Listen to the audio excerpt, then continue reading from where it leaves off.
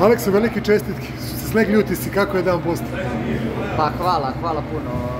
Tek je dobro, ljuti su, okrećemo se i ok i moramo povedati tu tako samo koliko je teška i e, evo danas samo malo da odmorimo, sad smo stigli i idemo kući da odspavamo, sutra novi dan, e, nova utakmica, nas čekuje prek sutra, svi znamo kako ćemo imati domaćinsko navijanje, što bi se reklo, jer cela Republika Srpska navija za Partizan, tako da jedva čekamo da idemo e, u laktaš i da pokušamo pobedimo Pjot.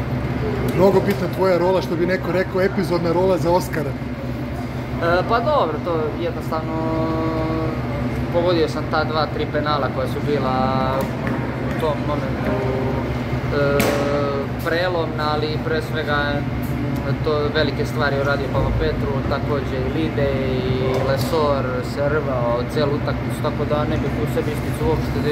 Ja sam pogodio, pogodio taj jedan penal koji je kao donelo 73-72 i to je to. Hvala srećno. Hvala, čao.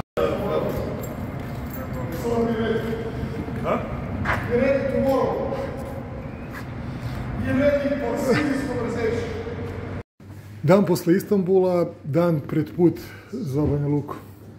Da, idemo Banja Luku, idemo protiv da igramo, znamo da tamo imamo prave prijatelje, iskrene prijatelje i da imamo dosta navijača. Ekipa GK je uvek nezgodan protivnik, imamo iskustvo od prošle godine. izuzetno teške utakmice koje smo na nevjerojatan način uspjeli da dobijemo.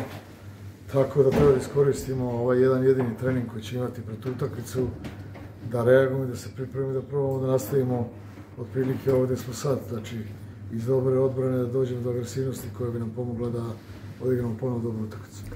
Ste slegli utisci dan posle Istanbula? Ma da, sve ok, utakmica. Ili nema se vremena za... Ma nema se vremena, baš tako. Hvala.